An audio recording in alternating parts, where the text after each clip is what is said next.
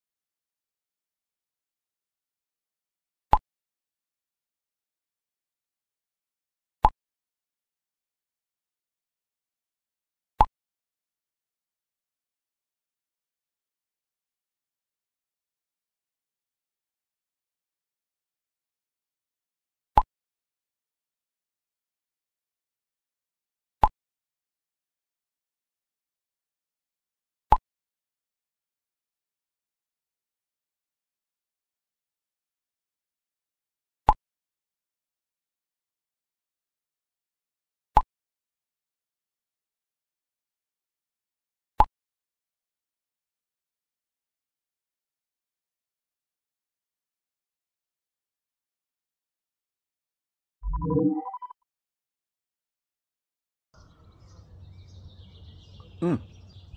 Äh, Carsten? Ähm, nee, du, äh, ich war äh, gerade mit ähm, Daniel in der Skype-Konferenz. Äh, genau. Ähm, Trantüten? Nee, also, nee.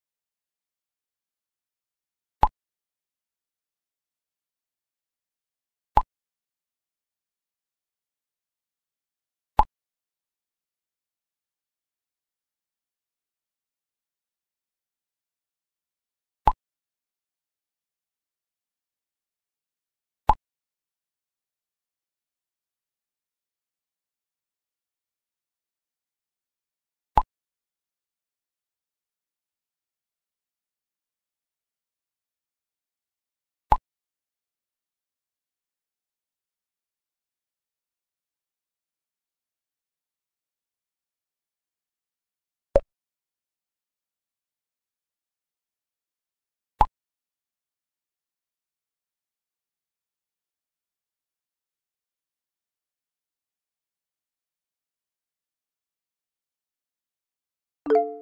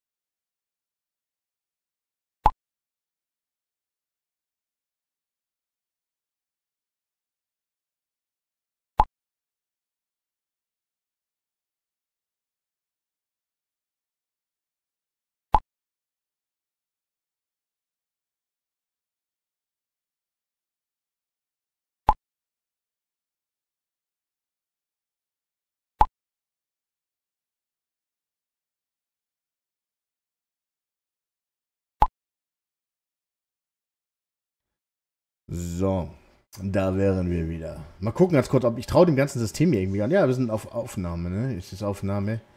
Das ich sehe der Aufnahme, ja, okay. Ja, man, ich traue dem ganzen System manchmal nicht. Ich hätte es gerne überprüft, aber ich hatte ja mal einen zweiten Monitor gehabt. Irgendwer ist schuld, dass ich den nicht mehr habe. Egal, los geht's. Mika. So. Dann lass die anderen mal schleppen. Du hast, das hast du mir zu verdanken. Äh, langsam, Tomsi. Das hast du mir zu verdanken. Ich dachte gerade, du hast mir zugezwinkert. Hm, Mika. Wir wissen nicht, wer Mika ist, ne? Ob Mädchen oder Junge, keine Ahnung. Stand da ja schon noch drin. Ich werde mich revanchieren. Ich muss mich erst einmal für das unhöfliche Verhalten von Leon bei dir entschuldigen. Der, der, der ist, kann nicht anders. Der ist so, der kann einfach nicht anders, ne? Im Übrigen muss ich mich dazu entschuldigen, es kann sein, dass man den Rasenmäher draußen hört. Unser Hausmeister muss jetzt seine Dienstpflicht erledigen, sonst lässt man so kann er drei, vier Monate kann man nicht sehen, aber jetzt ist auf einmal da. So, komischer Kerl. Ist der immer so launisch? Ich mag, er mag mich wohl nicht. Schwamm drüber. Alles gut. Ich kann seine Reaktion nachvollziehen. Komm, wir tun auf traurig. Oh, Leon mag uns nicht. Der mag den Tomji nicht, den YouTuber. Der ist zwar gut, aber was macht er hier? Das ist es nicht, Tomji. Ich gebe zu, er ist manchmal etwas schwierig. Aber er ist echt in Ordnung. Mhm. Wenn du das sagst, den Eindruck hatte ich ehrlich gesagt nicht. Okay, vielleicht hatten wir einfach nur einen schlechten Start. Wer weiß das schon, ne? Boah, der Rasenmäher. Sehe ich auch so. Ich kenne Leon jetzt schon eine ganze Weile. So wie den Rest der Bande. Habe ich ja Bande gesagt. Uiuiui. Wir, äh, wir haben uns fast alle über Social Media kennengelernt. Ja gut, das ist dann schon eine Weile, weil Social Media gibt es ja schon eine Zeit. Und inzwischen sind wir die glorreichen Sieben. Aha, davon hat nur zwei überlebt. Ne, eine haben überlebt, glaube ich, von den glor glorreichen Sieben. Von den glorreichen Sieben hat, glaube ich, nur einer überlebt, ne? Aber wir Mädels sind definitiv tougher als die Jungs. What? Ah, wir Mädels! Aha! So, so. Und was gibt es sonst noch über dich zu erfahren? Jetzt müssen wir wohl Mika so. Aber komm, wir sprechen Mika weiter so. Ist jetzt blöd, jetzt hat Mika so angefangen, jetzt oh, ich bin die Mika. Über mich? Ich kann versuchen, so ein bisschen weibliche Betonung reinzugehen. Was willst du denn von mir wissen? Und was willst du denn wissen? ähm, was treibst du denn, wenn du nicht auf Geisterjagd gehst? Wie bist du eigentlich so Geisterjäger geworden? Dein Avatar, der Hund, ist es deiner? Und gibt es auch noch Bilder von dir?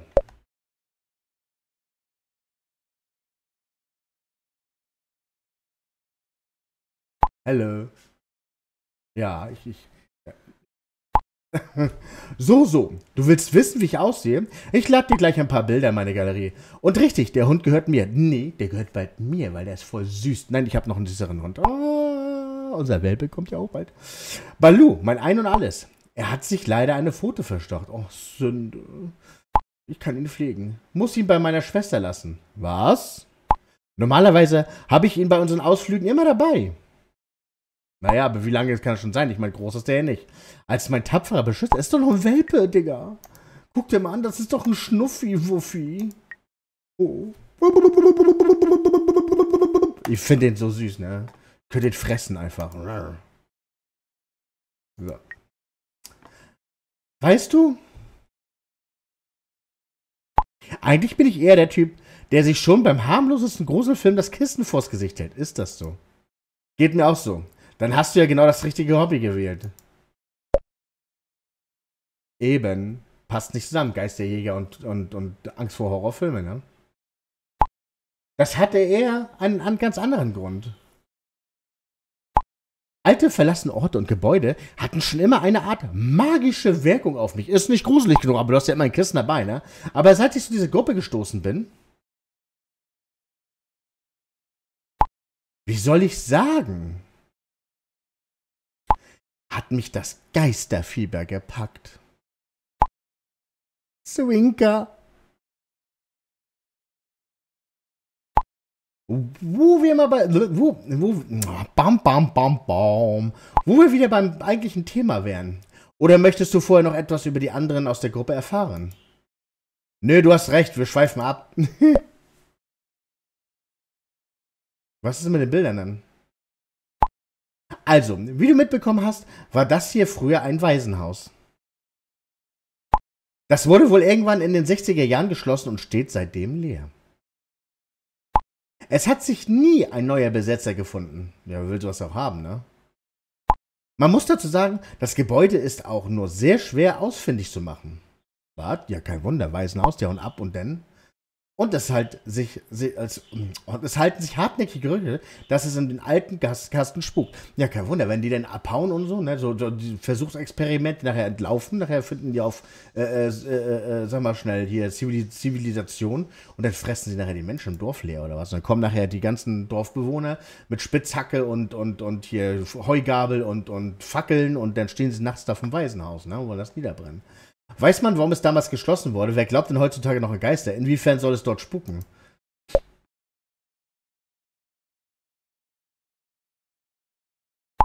Keine Ahnung. Es ist echt schwer, an Informationen zu gelangen. Es ist fast, als wolle man vertuschen, was sich hier zugetragen hat. Ich sag ja, Spitzhacke, ne? Und äh, äh, Heugabel. Wir haben schon alles Mögliche versucht. Recherche im Netz, im alten Archiven, Bibliotheken. Wir haben sogar versucht, mit dem Sohn des damaligen Bürgermeisters zu reden. Nichts. Dieses Waisenhaus ist einer der gespenstischen Orte, von denen ich bisher gehört hatte. Habe. Man findet im Internet alte Einträge von Leuten, die behaupten, sie hätten hier nachts unheimliche Stimmen gehört. Was haben die denn hier nachts zu suchen? Einige wollen sogar gesehen haben, dass ein kleines Mädchen durch die Gänge wanderte. Das habe ich gesehen. Und jetzt schau dir das mal an. Lalala, das Horror-Waisenhaus. Selbstmord im verlassenen Waisenhaus. Bam, bam, bam, bam. Marode Mauern. Kaputte Fenster. Offene Türen. Ehemalige Waisen... Was? Das ehemalige Waisenhaus macht schon von außen einen abschreckenden Eindruck. Doch was hat das hinter diesen Mauern zur Zug Immer wieder sieht man ein junges Mädchen an einem der Fenster stehen und im Keller des Gebäudes taucht ein unerklärlicher, lokal begrenzter Nebel auf. Kein Wunder also, dass das Spukhaus immer wieder Ziel von Jugendlichen war, die sich gegenseitig irren. Kann man das nicht besser hier sehen? Das ist natürlich echt abgeschnitten unten, ne? Tja. Warte, hier steht, hier steht das, das Westliche. Wow, das Westliche, Digga, das Wesentliche. Hm. Doch was als Mutprobe begann, wurde nur von einem tragischen Ereignis überschattet. Als eine Gruppe Jugendlicher auf einen nächtlichen Streifzug durch das verlassene Gebäude die Leiche des 17-jährigen Thomas S. entdeckte. Bom, bom, bom, bom. Der Junge, der als zurückgezogener Einzelgänger galt, hatte sich offenbar im Keller des Hauses das Leben genommen. Okay. Oh Mann, verständlich, dass keiner dieses Gebäude kaufen will. Wie habt ihr denn herausgefunden, wo sich das Waisenhaus befindet? Unsere Wellensittich hört man aber, ne? Das musst du Jarek fragen. Er ist unser Sherlock Holmes. Sherlock. Wenn jemand etwas findet, was nicht gefunden werden will, dann er. Versteht, wir wollen unbedingt mehr über das Waisenhaus herausfinden. Und wer weiß, vielleicht kommen wir ja auch dahinter, wie deine Nummer auf dieses Foto gekommen ist. Hm, neugierig bin ich ja schon. Ja, das mit der Nummer ist mir echt ein Rätsel. Ich bin mir gar nicht sicher, ob ich noch mehr wissen möchte. Ich vermute mit einem Stift. wir sind also witzig, ja? Nein. Sind wir nicht.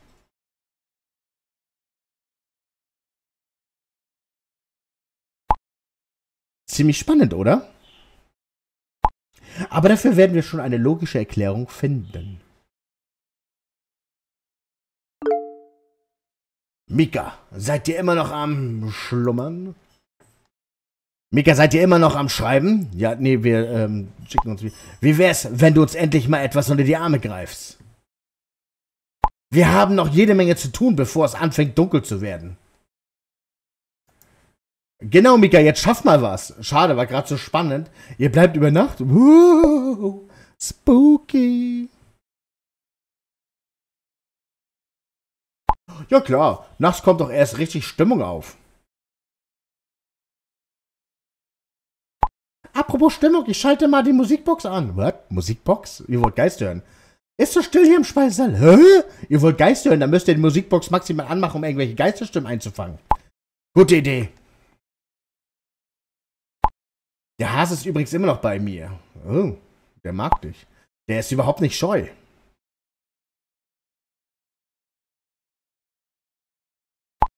Echt? Ist ja niedlich. Also, wenn ich dir da unten über den Weg laufe, gelaufen wäre, Jarek, hätte ich sofort die Flucht ergriffen. Ja, das wäre äh, ähm, dementsprechend so gelaufen, ja. Witzig, Mika. Finde ich auch. Dann habt ihr jetzt ein Waisenhaus-Maskottchen. Irgendwas stimmt mit Hasi nicht. Und irgendwas stimmt wirklich mit Hasi nicht. Das kann nicht normal sein. Hast du ihm schon einen Namen gegeben?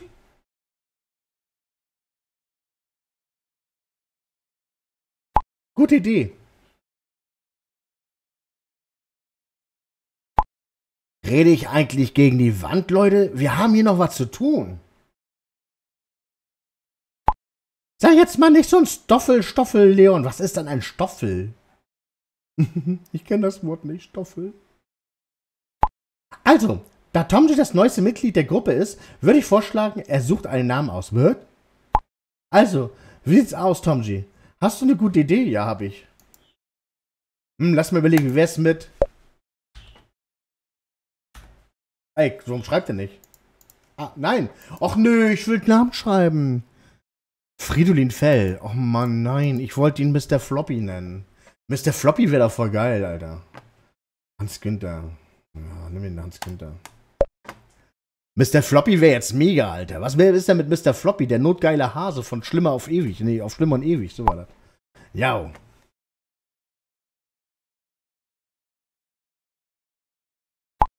Dann wäre das also beschlossen. Unser neues Maskottchen heißt Hans Günther.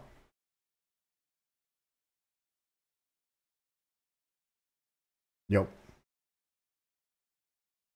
Ähm, Leute, wo ist eigentlich die Tasche mit den Wein? Was, ihr wollt da saufen? Leute, ihr wollt doch Geisteraufnahmen machen. Da braucht man ein EMF-Gerät, man braucht da, man braucht da äh, Geisterboxen. Was wollt ihr alles mit Wein und, und Musik? Ich habe nur die Kiste Bier gesehen. Was? Den Wein hatte doch Mika, oder? Ja, der ist leer. Mist, äh, war die Tasche nicht im Wagen? Oh Mann. Aber irgendwie muss es da ja eine Straße geben, äh, geben da zum Waisenhaus. Ich habe sie nicht gesehen. Sorry. Dann habe ich jetzt, äh, habe ich sie wohl bei dem ganzen Stress auf den Küchentisch stehen lassen. Ach Menno, ich wollte so gerne saufen. Nee, oder? Warum? Ey, ihr seid ja voll Profis. Sorry. Sag mal, kann man auch denn besoffen nur YouTube-Videos dann machen? Mache ich eigentlich auch andauernd, ja. Tja, Jungs, dann werdet ihr wohl ein paar Flaschen Bier abdrücken müssen. Sandy mit dem Handy, meine Güte. Oder ihr Mädels setzt euch noch mal ins Auto und fahrt einkaufen. Bingo. Ja, klar, die letzte Tankstelle ist, die ich gesehen habe, ist locker 25 Kilometer entfernt. Ja und? Ihr wollt saufen. Und das nächste Dorf war noch weiter weg. Ach, Menno. Ja, los.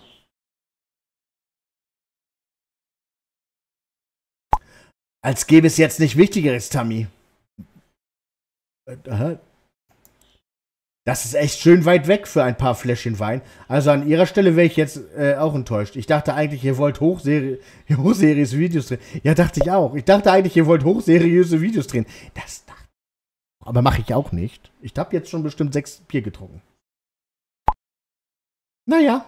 Und trotzdem darf man ja wohl ein wenig Spaß haben. Ja, ähm, Konzentration ist hier angesagt.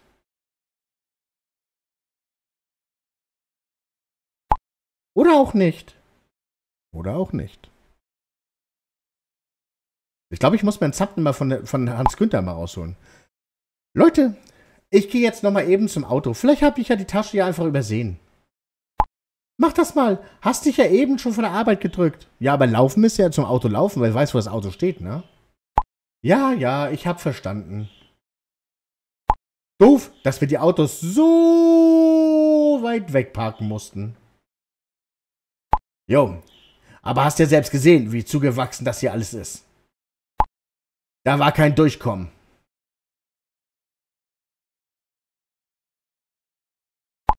Und wenn du schon mal dabei bist, bring noch die restlichen Schlafsäcke mit. Was? Auf dem harten Boden Schlafsäcke? Ja, aber da hast du noch genügend. Das ist doch eine Irrenanstalt. Da kannst du doch da hier. Hält dich Jarek nicht mehr warm? What? Ich darf ja nicht mehr. So Leute, jetzt Avanti, dass wir fertig werden. Ich übernehme noch die zwei Kameras im Treppenhaus. Befürchte, wir werden heute eh nicht mehr alle installiert, installiert bekommen. Meine doofe Frage, was sollen die Kameras eigentlich aufnehmen? Wie viele Kameras habt ihr denn? Tut mir leid, dass ich euch von hier aus nicht helfen kann. Dann lasse ich euch besser mal in Ruhe arbeiten. Ja, was sollen wieder die Kameras aufnehmen? Irgendwelche de deponierten Puppen. Warte, Tomji. Was? Jetzt sollen wir auf einmal warten? Könnte sein, dass wir gleich noch kurz deine Hilfe benötigen. Ja, alles klar, ich helfe ja gerne von hier aus. Ich erkläre es dir, sobald wir die restlichen Camps angeschlossen haben. Ja, wieso der Aufwand, wenn ihr doch gar nicht an Geister glaubt? Okay, diese Frage, okay. Unsere Fans glauben aber daran. Der Großteil, zumindest. Und sie stehen total auf diesem Paranormal Activity Look. Du glaubst ja gar nicht, was die ganzen Kameras so einfangen, wenn sie mal ein paar Stunden aufnehmen. Hier bewegt sich ein alter Vorhang im Wind. Da läuft eine Ratte durchs Bild. Ja, das ist sehr spooky. Ratten durchs Bild laufen. Woanders wirft ein Baum einen gruseligen Schatten ins Zimmer. Uh. Na, dann bin ich ja mal gespannt. Klingt für mich eher langweilig. Und das kommt bei euren Fans so gut an. Ihr hilft da bestimmt noch nach, Alter. Jede Wette. Absolut, wart's ab. Bei so vielen Aufnahmen ist immer etwas Gruseliges dabei. Deshalb ja auch die Bewegungssensoren. Hey, hört mal. Damit sie auch wirklich auf alles anspringt, haben wir sie auf extra empfindlich gestellt. Ah ja, so Staubkonflikt. Oh, habt ihr das gesehen? Tja, und was soll ich sagen? Das Material cool zusammengeschnitten, ein paar selbstgemachte Gruseleffekte, siehst du, spooky Musik und ein paar gruselige Geräusche. Fertig ist das Geistervideo. Gut erklärt, Erklärbär. Können wir dann jetzt weitermachen? Mika, hast du den Schlafsaal soweit verkabelt? Ist sie schon wieder da? Ja, das volle Programm. Immerhin lag hier das Foto mit der Nummer drauf. Zwei Kameras, ein Bewegungs- und ein Wärmesensor. Wow, hört mal, die fahrt ja richtig auf. Klingt ziemlich professionell. Könnt ihr das dann auch sehen, was die Kameras aufzeichnen? Woher kriegt ihr eigentlich den Strom für das Ganze? Generator dabei. Die laufen über Akku. Wow, super Akkus. Und für den Fall, dass wir na, mal nachladen müssen, haben wir noch einen kleinen Generator dabei. Generator dabei. Mhm. Bei unseren ersten Trips sind uns ständig die Akkus ausgegangen. Natürlich sind sie das. Aber seit wir uns den Generator zugelegt haben, ist alles tutti frutti. Leute, geht's eigentlich euch auch so? Dieses Gebäude erinnert mich voll an dieses alte Hotel, wo wir letztes Jahr waren. Oh. Spooky. Fertig ist das Geistervideo. Erinnere, ich, erinnere, ich, äh, erinnere mich bloß nicht daran. Da wird mir heute noch flau im Magen. Krass, wie findet man denn solche verlassene Orte? Das kann schon ziemlich knifflig werden.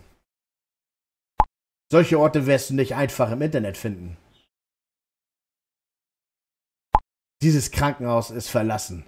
Kommt alle her und schaut euch das an. Genau, das ist das eben halt, ne? Und dann wird noch Blut deponiert. Hab schon einige Lost Place Bilder gesehen mit Blut im Operationssaal. Mhm. Man findet zwar Bilder und andere Sachen im Netz, aber keine Adressen. Die musst du selber recherchieren und ausfindig machen. Oft hören wir auch nur von einem Gebiet, in dem das Gebäude liegen soll. Google Maps ist da sehr hilfreich. Wenn du dort die Satellitenkarte aktivierst, kannst du das Gebiet nach dem Gebäude absuchen. Mühsam, aber du freust dich, wenn, wenn du fündig geworden bist. Nur dieses verlassene Hotel in der Nähe des, der organischen Grenze. Das hättest du besser nicht entdeckt. Ja, die Bude stand auch schon wenig leer. Äh, ne? ja, die Bude stand auch schon ewig leer. Total baufällig. Jupp, da fehlte teilweise ganze Teil der Fassade. Das war echt lebensgefährlich. Sandy war gerade dabei, eine Kamera im dritten Stock zu installieren und hat dabei ein paar Tauben aufgeschreckt. Ja, und eins der Viecher ist mir genau ins Gesicht geflogen. Ich konnte mich noch im letzten Moment an einen Stahlträger festhalten. Ansonsten wäre ich die gesamten drei Stockwerke tief gestürzt. Ja, wärst du heute nicht mehr so da. So, Kinderchen, wir belassen das. Ich versuche das nochmal reinzuschneiden, was Janine mir geschickt hat. Danke, Janine, für die Aufnahmen. Und ja, wir sehen uns wieder in der nächsten Folge. Und tschüssli, Müsli.